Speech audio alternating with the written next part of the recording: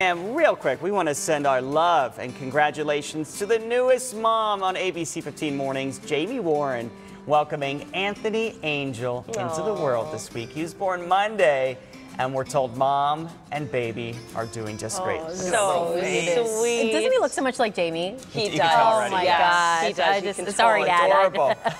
but he is perfect. Oh. We are so happy Two for you guys. now. Jamie, rest up. Uh, try to get some sleep if you can. I know that's not going to Yeah, be easy. We're so happy for you guys.